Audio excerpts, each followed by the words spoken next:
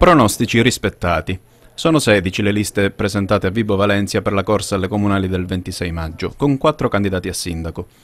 Otto quelle a sostegno di Maria Limardo, prima donna a ricoprire questo ruolo.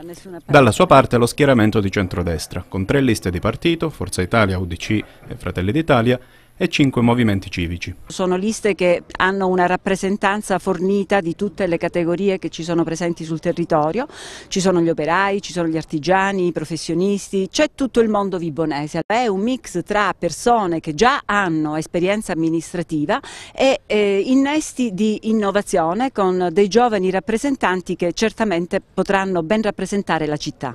Sei invece quelle che spingeranno l'ex presidente del Consiglio Stefano Luciano, tra le quali l'unica politica è quella del Partito Democratico. Sì, la serietà si dimostra anche da questo, quando si dicono i numeri delle liste devono essere tali, io diffido di chi eh, dice numeri e millanta numeri che poi nei fatti non ci sono, perché questo è il preludio per prendere in giro gli elettori. Noi siamo seri, abbiamo detto sei liste, sei liste sono state depositate. Gli obiettivi sono quelli di offrire a Vibo Valencia una classe dirigente nuova, che sappia realmente interpretare quelle che sono le esigenze politiche e amministrative che oggi questo territorio che è in grande sofferenza produce. Questa mattina a Palazzo Luigi Razza è stata depositata anche la lista di Francesco Belsito, a capo del movimento Fare dell'ex sindaco di Verona Flavio Tosi. I nostri obiettivi eh, sono quelli di rendere Vibo Valencia una città vivibile, cerchiamo di, abbiamo un programma eh, dove noi abbiamo evidenziato eh, le problematiche di base,